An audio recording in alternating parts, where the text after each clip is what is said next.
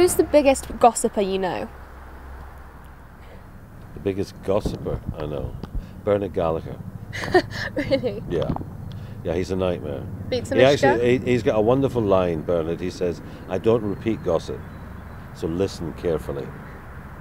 And that's Bernard. Yes, he is the biggest gossiper I know. No question. How long have you known Bernard? Longer than Queenie. Uh, probably since about 1970. I've known Bernard.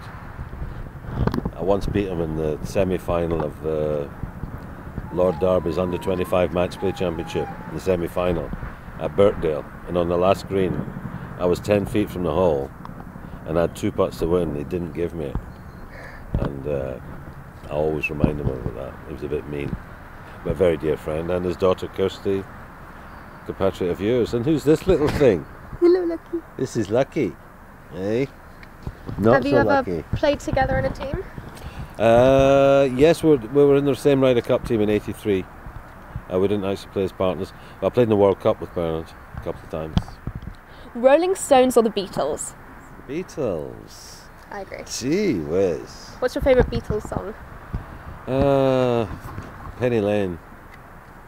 There's so many of them. I could almost say ten, and all they'd all mean the same. Who do you admire most and why? Your mother, because she rules me. And in the golfing world? Uh, Jack Nicklaus was my hero, without question. How many times have you met Jack Nicklaus? Uh, a number of times. I actually got to play with him a few times, which is a big thrill. I once said to him, uh, he, he was my hero, absolutely. And I did actually say to him once that, you know, the biggest compliment I could give you, Jack, was uh, in the 400 majors I won in my sleep.